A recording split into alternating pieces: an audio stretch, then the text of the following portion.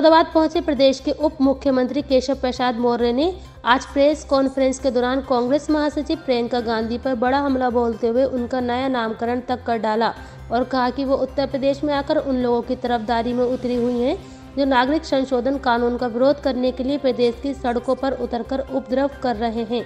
केंद्र सरकार के निर्देश पर आज भाजपा के नेता आम लोगों के बीच पहुंचकर सीएए के विषय में जानकारी देने के लिए मैदान में हैं। इसी कड़ी में प्रदेश के उप मुख्यमंत्री केशव प्रसाद मौर्य मुरादाबाद पहुँचे थे, जहाँ पर सबसे पहले मीडिया से बात करते हुए सरकार का रुख साफ़ किया और फिर कांग्रेस महासचिव प्रियंका गांधी पर जोरदार हमला करते हुए उनका नया नामकरण तक कर डाला। प्रियंका ट्विटर बाड्रा गांधी कहकर संबोधित किया तो वो यही नहीं रुके और विपक्ष पर जमकर निशाना साधा। घट जाती। वहाँ रहने वाले जो हिंदू हैं सिख हैं, जैन हैं, पारसी हैं, बौद्ध हैं, ईसाई हैं, उनका जीवन मुश्किल में है। बड़ी संख्या में नागरिकता संशोधन अधिनियम 2019 आने से पहले भी लोग इन देशों से भाग करके भारत में शरणार्थी के रूप में रह रहे हैं।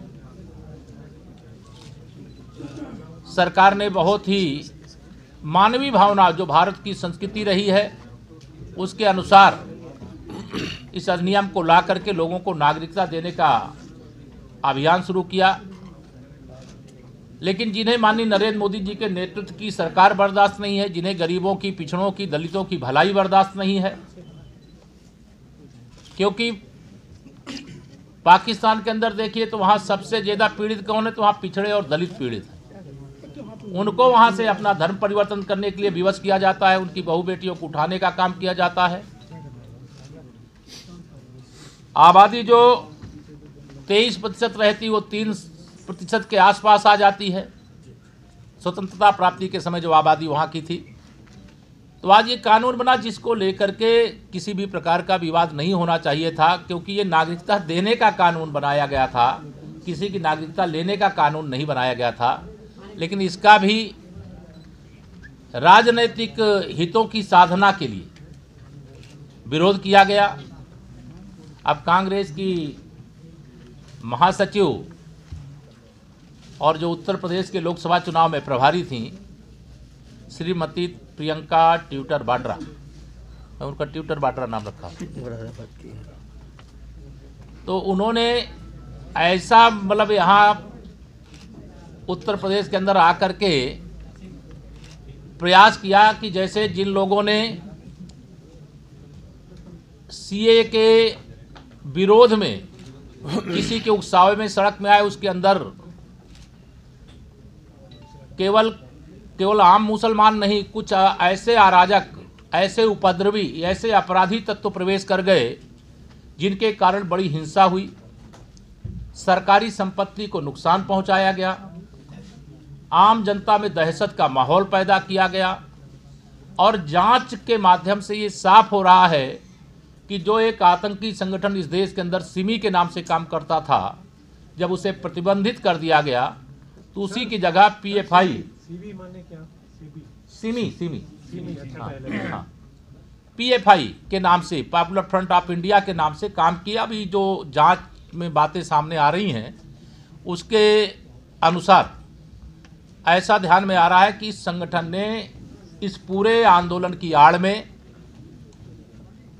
कांग्रेस और सपा इन दोनों के उकसावे के कारण से अपने मंसूबों में वो कामयाब हुए। कई स्थानों पर सब जगह नहीं हो पाए। मुरादाबाद में भी कोई ऐसी घटना नहीं घटी। यहाँ के सभी, मैं ज़िले के पुलिस और प्रशासन के अधिकारियों को बधाई और यहाँ की जनता का धन्यवाद कि किसी के गुमराह करने में नहीं आए।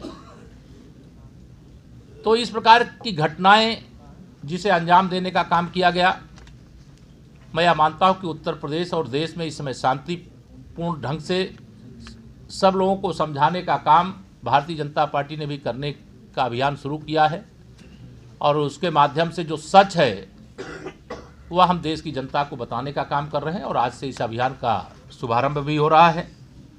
मैं आज के दिन यहाँ पर नागरिकता संशोधन अधिनियम 2019 के समर्थन में जनसंपर्क अभियान की दृष्टि से आया हूँ। आज आप सब पत्रकार मित्रों से बातचीत भी होनी थी। मेरी ओर से इतना कहना इस संबंध में आपका कोई सवाल हो तो बताइए। प्रयागराज में एक परिवार के पाँच लोगों की हत्या कर दी गई। विपक्ष इस पर सवाल उठा रहा है कि कानून व्यवस्था बिल्कुल ध्वस्त कर दी जाए सरकार मैं अभी जब प्रयाग से ही मैं चल करके आ रहा हूँ। मीडिया बाद में बात कर लेगा। जी सर। प्रयाग से ही चल करके मैं आ रहा हूँ लेकिन जब मैं प्रयाग में था उस समय तक सूचना नहीं मिली थी। अभी मैं जब आ रहा था तो मुझे भी व्हाट्सएप में यह दुखद समाचार देखने को मिला है। घटना क्यों है कैसे है और उसके कौन दोषी हैं उनको पकड़ेंगे उनको कठोर सजा देने का काम करेंगे। सर मायावती जी ने उधर ट्वीट किया है आज की जो शर्मनाक है जो निर्दोषों को जेल भेजा है वो सरकार के लिए शर्मनाक है। फाइनेंशियल हेल्प देखिए जो निर्दोष कोई जेल गए हैं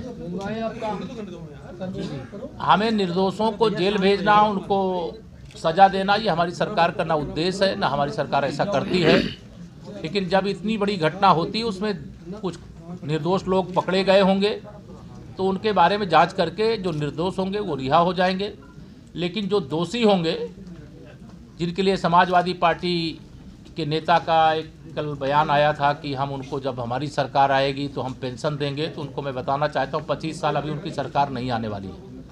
और जिन्होंने उपद्रव किया है जिन्होंने आगजनी की है, जिन्होंने सरकारी संपत्ति को नुकसान पहुँचाया है, ना वो स्वतंत्रता संग्राम सेनानी हैं, ना वो मीसाबंदी हैं। उपद्रवी हैं, अराजक तत्व हैं, अपराधी हैं, और अपराधियों के साथ वैसा ही व्यवहार होगा जैसा होना